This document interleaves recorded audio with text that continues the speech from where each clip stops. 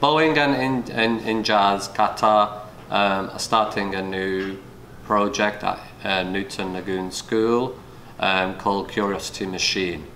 Curiosity Machine is a project that links to the STEM initiative of science, technology, engineering and mathematics.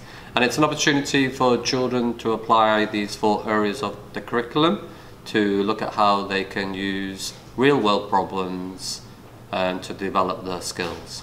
Today is the official launch of the Curiosity Machine program, uh, which is a program uh, delivered by uh, Boeing. And I'm very happy that Injaz Qatar and uh, many thanks to Newton International Schools for welcoming us and welcoming this idea and this program and allowing us to deliver this program to the uh, students.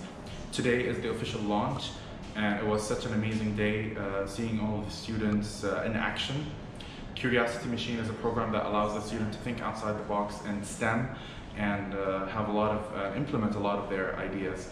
Um, very happy that the teachers and the management of the school have been so supportive since day one.